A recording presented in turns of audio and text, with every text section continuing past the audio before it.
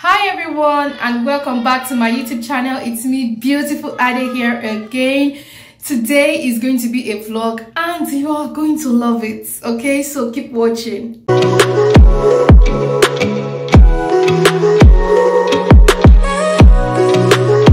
So you're welcome back. Today is going to be a vlog like I said.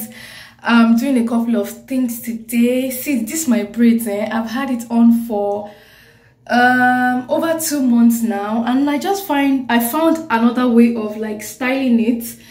And um i think i'm oh sorry. I think i'm liking it again. I was thinking of taking it off like like loosening it but i'm just going to find a way to you know style it and i hope it looks better. Anyway so i want to talk about something but i need to find somewhere to keep this camera. I'll be my my phone okay i just hope this is good enough. Anyway so yeah i said i was going to talk about something and it is this ongoing um unfortunate incidents of davido and chioma losing their only child their only son together.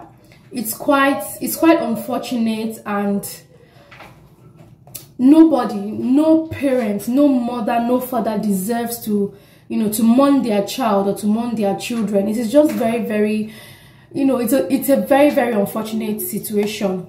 However what is pissing me off so much is how a lot of people have gone about to comment under um, different blogs that have actually um, um, you know put it on their vlogs that okay this and this happened. A lot of people especially men and even some I don't know what I don't know which word to qualify it with now. Would I say they are ignorant?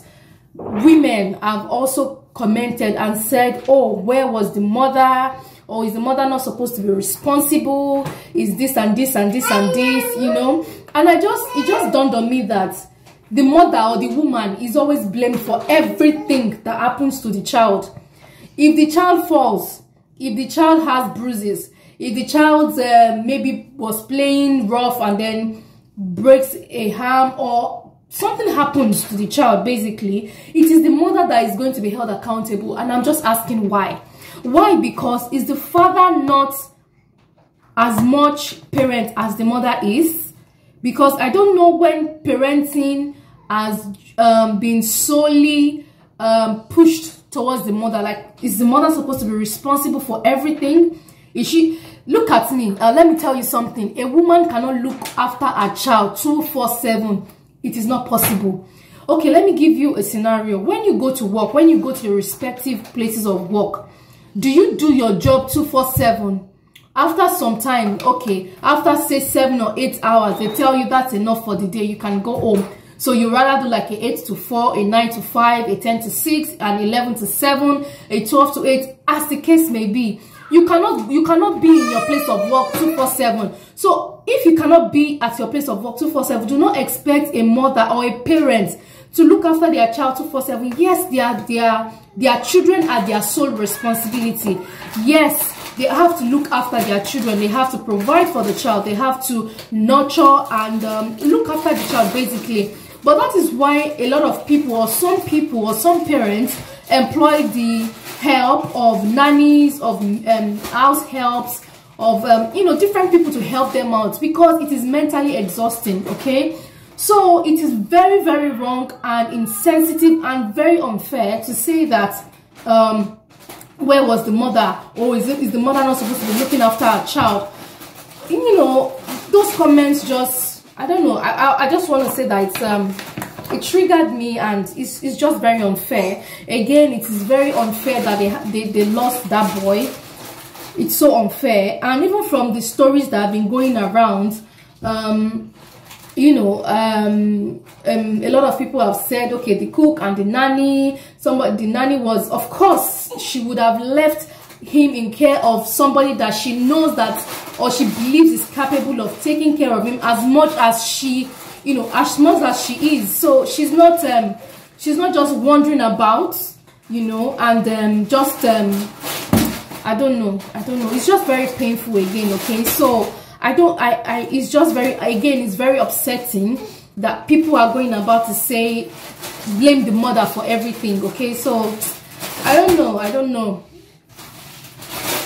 it's just very very it's just very very very unfortunate very unfortunate. Another thing that instagram is doing that is also pissing me off is that the boys video is everywhere. When you go into Insta instagram when you go onto the explore page when you go onto the suggested videos um, line you see this boys video everywhere. Like is it that you are getting money from um, you know um, showcasing the boys video? Like does it even make any sense? Like ah is is i feel like that is insensitive. This this family they are mourning their their child they are mourning their son and then you're going about broadcasting his videos suggesting his videos to people to watch.